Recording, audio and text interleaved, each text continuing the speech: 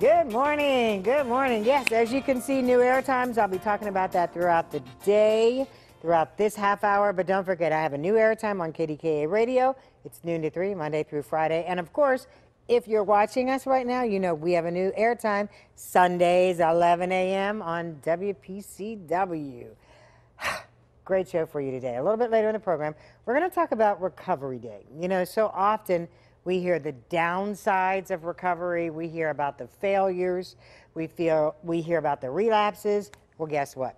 Recovery can work, and we're going to celebrate that later in the show. But we begin.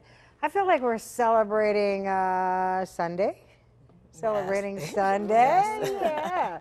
Rita Gregory, who is here wearing her director's hat. Yes. And Kim El, who is here wearing her playwright hat. Yes. I mean, you two really, you, you do it all. You, you write, you direct, you act. Woman's got to do what a woman's Gotta, got gotta, to yeah, do. exactly. Yes. All right, so Kim, this is your production, this is your play. Tell me all about it. The name of the play is The Sunday God Gave Me, and it is um, a tale of the cycle of domestic violence. And a lot of times people hear about domestic violence after it's a secret, because in most societies it's a taboo.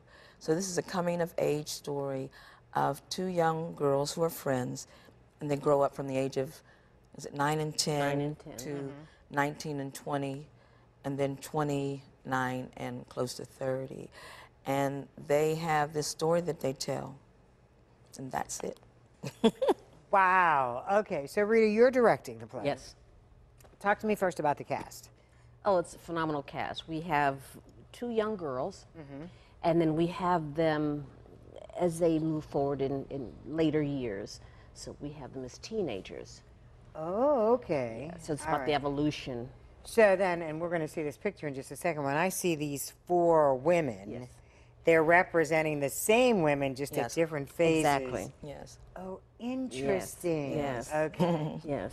And you'll see a lot of just the weaving in of characteristics and mannerisms so that you know that it's the same character when she she gets older.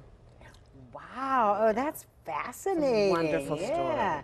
So then, and and let me put this out there for both of you because domestic violence is an emotional conversation. It is a painful conversation. Yes. And it's one that we don't have comfortably.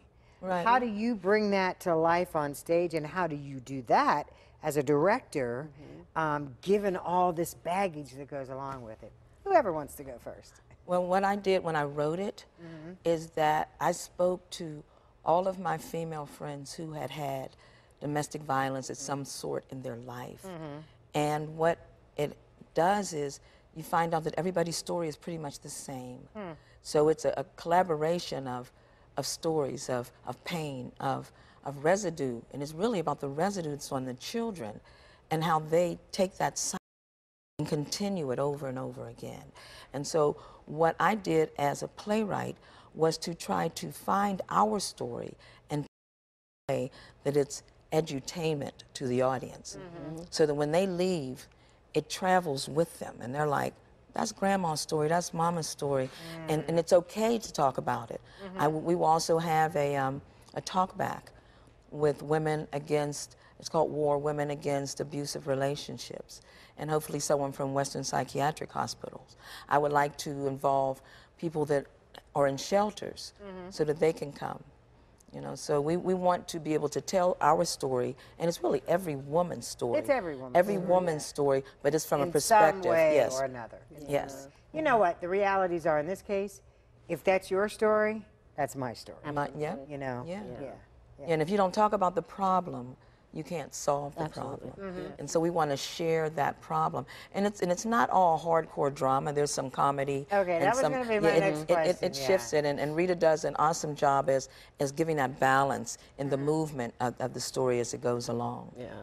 So then that's a perfect segue because tell me what I'm going to feel while I'm watching the play and afterwards. What's the after play conversation? It's um, you're, you're going to feel a lot of different things. Uh, you are going to not only be entertained, but you'll be educated. Okay. Edutainment. Yes. Uh, and so you'll be able to hopefully be able to be drawn into that story. And people need to understand that domestic violence isn't something that happens over there. We all know of someone who has been abused, who has gone through it. I have a family member who went through it, and I remember calling one of the shelters and trying to find help, but I couldn't get any information. But they did tell me the reason why, uh, one of the reasons why women stay and men stay in situations like that is they're hit, and they realize later they survived it, and so they continue to stay in it because they know each time they they get hit that they can survive it. They can survive it. And I used to do programming for UPMC. I used to educate through entertainment, through Okay. the arts. Mm-hmm. And there's something about fusing the two and presenting that information sh- so that it is acceptable and it's easy to, um, to take it all in mm-hmm. without feeling uh, that barrier being put up. And mm-hmm. Kim has written such a beautiful story. Thank you. Uh, we first told this story at the National Black Theater Festival four Oh, okay. years ago. All right. Oh, so this has kind of been there for a yeah. while. It, it started actually as a one act at the um, Pittsburgh Playwrights Theater. Okay. In 2010, I believe. And so I did it as a one act. Then I changed it to a full length with the children involved. Mm-hmm. And the National Black Theater Festival did it as a stage reading. And so I got feedback from that. And then I self, I'm self producing it now at the Oh, New that's Hazlett awesome. Theater. I was going to say, let's talk about it because there's two days. So folks need to Right. get go to Eventbrite, get their tickets. Yes. Talk to me about those logistics. Yeah, so you can go to Eventbrite, and the, the dates are September, Saturday, September 21st, and Sunday, September 22nd. The Saturday show is at 8, and the Sunday show is at 3, so that if people don't like to come out at night, they have an option of coming in the daytime. Mm-hmm. And it's at the New Hazlett Theater on the north side, and I guess you're all going to put up the information. It's right it. there. It's right there. So Rita, did the Sunday God gave me, did was it necessary to have a, a woman director? Yes. yes, yes, yes. And, and I'm glad that Rita is directing it because I needed to have a woman who could feel that. You know, I don't think that a man directing would be able to sympathize mm-hmm. With what these women, when they, especially the, the final part that you see. And I do want to mention the actors' names. Um, two of them are 14 years old. Wow, that's awesome. And those And two they're are from? they're from the um, Alumni Theater Company, and Okay. their Very names are Cherie Key and Ayana Bennett. And then the other two are alumni of the Alumni Theater Company, and their names are Shakira Wright and Cherish Morgan. They are phenomenal, oh, phenomenal. for- They, I mean, it's so believable. When I'm sitting, I'm like, oh my God, they're was just say, I feel like I know that name, Cherish Yes. Morgan. Cherish Morgan. Would that have been from uh, The Wiz, they did The the Wiz. August Wilson monologue competition? Yes. Yes. Okay. Yes, they All right. both I did. knew that I Yes. knew the name. Yes. Okay. Yeah, and they're they're powerful. Oh, I'm- awesome. I just So feel exciting. blessed to have a team that wants to tell the story and that who also wants to make sure that people go home and learn something. And from learn it, something. especially young girls. And Rita, you get the last word here. Is that uh, what do you want people to walk away with?